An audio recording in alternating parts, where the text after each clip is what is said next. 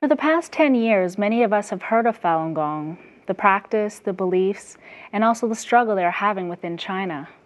Today, I'm happy to have with me spokesperson for the Falun Gong in Canada, Mr. Joel Chipkar, who will hopefully be able to shed more light on this spiritual phenomenon and the issues it faces today. Joel, thank you very much for being with us today. Thank you, Chrissy. So, Joel, for those of us who don't know, what exactly is Falun Gong and uh, what are the basics of the beliefs? Well, Falun Gong is what's called a full cultivation practice for the mind and the body. Um, back in China, in ancient China, these teachings that we know today, like Tai Chi or Qigong, were used to not only strengthen the body energy, but also to unlock the wisdom in the mind in order for people to reach their spiritual perfection. Uh, much like many of the ancient teachers, like the Buddha or, or Lao Tzu, who brought in Taoism, these were very profound, powerful teachings.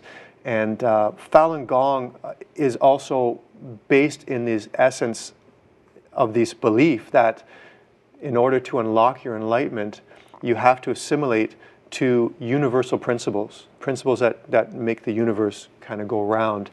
And Falun Gong believes that the essence of every molecule in the world, everything that we see, like this table or a tree or a chair, has a characteristic. And each characteristic of, this, of, of each molecule is what the Chinese call Zhen Shan Ren, or truthfulness, compassion, and forbearance. Like a tree doesn't know how to hate. You know, a bird doesn't know how to be jealous. They just are. And Falun Gong believes that the human being as well can assimilate once again closer to this universal characteristic of truth, compassion, and forbearance.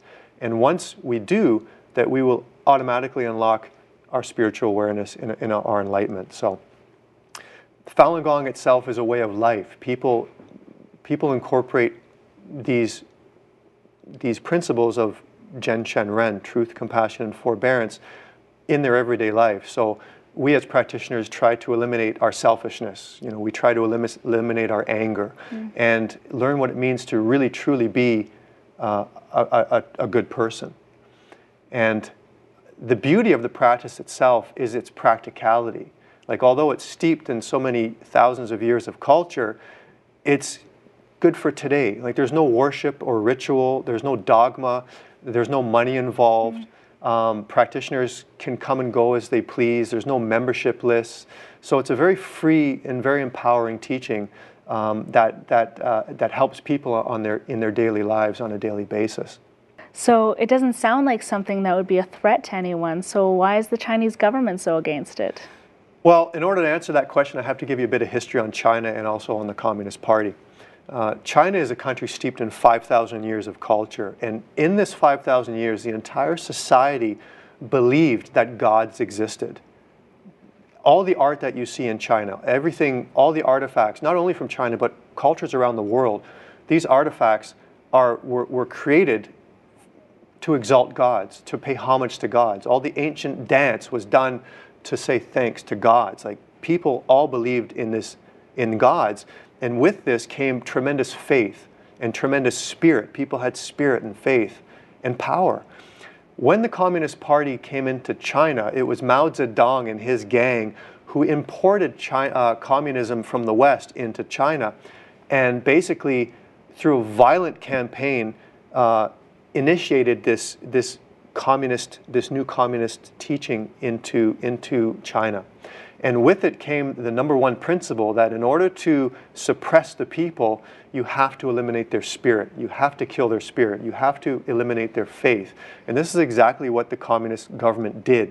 In 1966, they started what was called the Cultural Revolution. And in the Cultural Revolution, uh, they basically eliminated in people's minds that, that gods existed, that gods did not exist, and that the Communist Party was God, that the Communist Party could control heaven and earth. And the Communist Party was great, glorious, and correct. So you don't need a God. All you need to do is put your faith in, communist, in mm-hmm. communism in the Communist Party. And I'm not making this up. This was actually in the Communist Manifesto. So in this time, from 1966 right up until the end of the, like the mid 70s, the communist government eliminated people's faith by violent campaigns, by destroying hundreds of thousands of temples and shrines, and by indoctrinating in people that, that there is no such thing as God. So now you have inside China a very atheistic faith, a very atheistic society, um, which, you know, who have their religions. They have Buddhism and Taoism and, and, and Christianity. But these religions are forced to swear allegiance over the Communist Party, uh, uh, over their belief in God. So every religion in China today is uh, controlled by the Communist Party. If you're not, then you're banned a heretical organization and you're persecuted. But when the, when the Cultural Revolution ended in the, in the late 70s, um, the government started getting concerned because after eliminating the faith of people, they started to get sick. They started to get diseases. You know, this is it, it's it's a very common principle that if you if, if your mind is peaceful, your body will follow. If your mind is plagued or if you have no faith, you're going to start getting sick. And in the 1980s, the communist government started letting back into China um, some of these spiritual treasures from the past, like Tai Chi and Qigong, that used to be full cultivation practices for the mind and the body, but now they were only for healing and fitness. They were only for the body. So the regime did not allow the spiritual aspect, they only allowed the physical aspect. And in the 1980s, you had a huge Qigong boom, and millions upon millions of people started to practice Qigong and started to become fit. In 1992, the founder of Falun Gong, Mr. Li Hongzhi, debuted Falun Gong into China. And Falun Gong once again brought not only the exercise regime to help healing and fitness, but also the cultivation practice for the mind. So he brought back into China the full cultivation practice of mind and body. And then from 1992 to 1994, it was very respected in China. It was awarded by the actual communist regime. It was supported by the regime. It was endorsed by the regime in order for the founder to give classes all over China. Uh, it was awarded the Star Qigong School in 92 and 93. And the Public Security Bureau, which is like the FBI, um, congratulated Falun Gong for bringing back the crime fighting virtues into society. Wow. It spread across China faster than any spiritual teaching in history until 1994 came around. And when 1994 came around, the communist government uh, approached the founder and he said, you know, we want to start charging money for this teaching because it's so powerful. We want to start charging money because it's so it's so it's popular. It's popular. And the founder said, no. This is a this is a, a cultivation practice. It's for the spirituality of the people, and it's not to be capitalized. It's not for sale. So he distanced himself from the, the, the arm of the communist government that was kind of overseeing Tai Chi and Qigong. And at that point, the communist government started to attack him. So from 94 to 1999, these abuse hap- uh, continued to happen.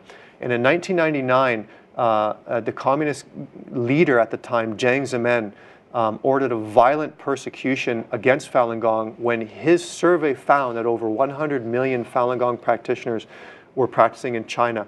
That's about 112th of every Chinese person in China, including high ranked Communist Party members and their families. So experts say he was very politically insecure and jealous, and he used Falun Gong as a political tool to kind of fluff his feathers and, and, uh, and, show, his, uh, and show fear uh, to his political circle and also uh, the rest of China.